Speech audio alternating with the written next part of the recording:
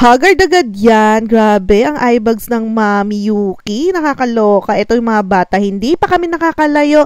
Eh, tulog na kagad sa biyahe. Di siguro nakatulog to nung gabi sa sobrang excited. Papunta kaming Batangas, guys. Katulog ako ng very, very light. Aba, pagising ko, nasa Tagaytay na kami. Pantalang nun, Tagaytay lang. Ilan oras na ang biyahe. Sabi ko kay Daddy Ariel, paano mo nagawa yun? 1 hour and 20 minutes. Nasa Tagaytay na tayo. May sinasabi si Daddy Ariel nyo na daan ng perna nakalimutan ko na. And siguro dahil holiday, kaya mabilis yung biyahe namin at konti lang masasakyan na bumabiyahe sa kalye. Ngayon, nag-stop over muna kami dito sa may Tagaytay. Ayala Mall yata siya. So, dito sa Starbucks muna ang una namin punta dahil kailangan ko talaga magkaroon ng energy sa pag-aasikaso dito sa mga chikiting na to. Pag gantong nalalata talaga ako, coffee lang ang nakakapagbigay sa akin ng energy.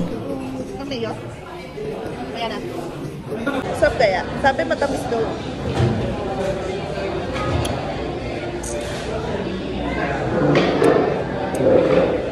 Dark chocolate. Try it.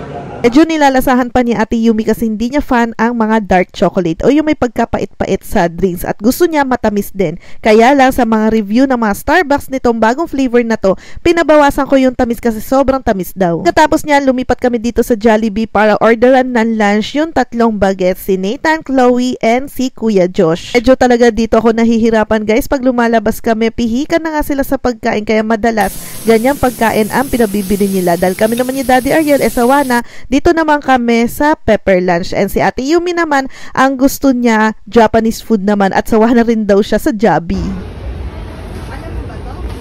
Cute eh na. Boxing boxing.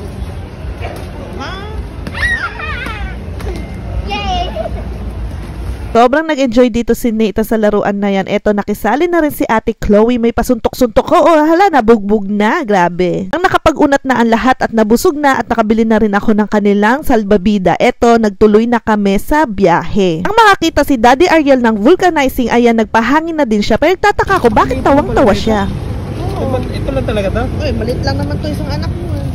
Ayan palang pinagtatawanan niya, naliliitan siya sa isang salbabida. Baka pumutok.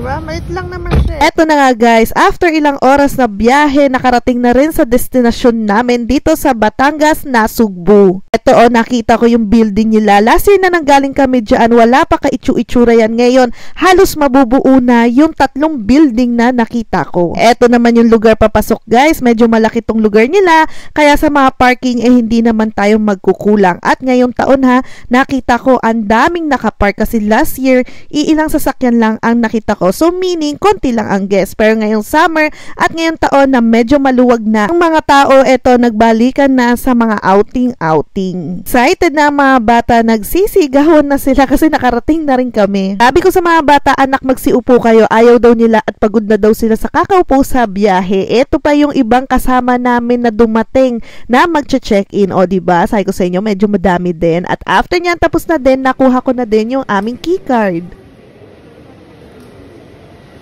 Let's go, let's go. Nang meron na kaming kwarto, eto busy si Daddy Ariel magpababa ng mga gamit namin. O, tingnan nyo naman ang mga dalahin ni Mami Yuki nyo. Two nights and three days lang kami, pero parang dala ko na ang buong bahay. Nagdidikit sa cellphone, hindi mabubuksan yan.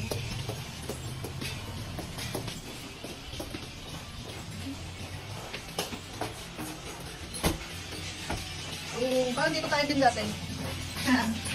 Lamig ka agad. Bawal idikit anak yung ano. Ito, ipatabatas tulong mo si kuya. Harap mo si kuya yung muna ipapasok.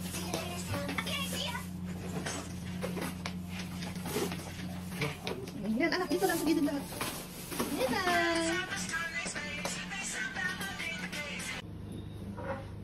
Nathan, okay? Happy birthday, Nathan. Matutuloy ang birthday ni Nathan sa. Nathan, happy birthday! Yung ama yata ang pinakatuwan-tuwa. So ito meron tayong vanity table, tapos may pasalamin, TV. Sa ibaba ng TV guys, may ref dyan. Tapos ayan, may cabinet. And ito naman yung pinaka-CR natin. Magkakasama na sila yung toilet, itong shower, tapos meron din pa bathtub, pero hindi ko ginagamit yan. Dati may curtain din, pero siguro tinanggal na nila. Itong salamin. Pinaka-sink natin, malaki, diba? Tapos meron na rin kasama mga toothbrush, kung wala kayong dala, mga sabon, at kung ano-ano pa. Wow! Ate Chloe! Nathan, blow, blow. Ano bago na yung playground? Lagyan ko mami ng effects. Hindi, tutok mo lang sa kanila.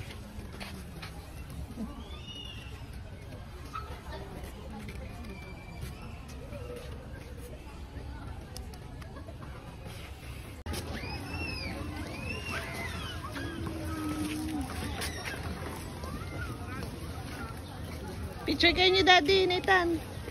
Chloe. One, two, three. Smile. Eto mag-aama, akala talaga nila pinipicturean ko sila, hindi nila alam, binibidyohan ko lang sila. Eto kukunin na namin yung aming free drinks. Dahil kararating lang namin at pagod-pagod pa ang lahat, sabi ko bukas na lang sila mag-swimming. Enjoy na lang namin yung view, napahapon na, may sunset, at mag-blow-blow na sila yung mga bubbles na nabili namin kanina. Ito yung mga tinitinda nila sa mga bar nila, may mga milk tea, fruit shake, and mga alak, at kung ano-ano pang inumin. Doon dalawang bagets, sinahayaan ko na lang mag-enjoy dahil yung dagat 6pm lang, eh hindi ka na pwede mag-swimming. Kaya sabi ko sa kanila, bukas na lang tayo mag-swimming. At ito, nakuha na nila yung free drinks nung mag-ama. Iced tea po siya at masarap yung pagka-iced tea nila. Ayan yung ating driver, Char. Si Daddy Ariel, nagpaparelax-relax na lang at napagod din naman talaga siya sa biyahe. Ito naman si Ate Yumi, dahil may mango shake, nag-order na din siya. Tapos kapag wala kang dalang cash, guys, lahat i-charge na lang sa room mo. Tignan nyo naman ang dagat guys. Sayang may music makaka-copyright tayo pero ang sarap ng pakiramdam at feeling kapag naririnig mo yung alon ng dagat. Ito isa sa mga pinagmamalaki ng Canyon Cove guys. Ang sunset dito. Talaga nasa harapan namin at kitang-kita namin kaya nakaka-relax. So yun lang guys. Abangan ang susunod naming vlog. Bye!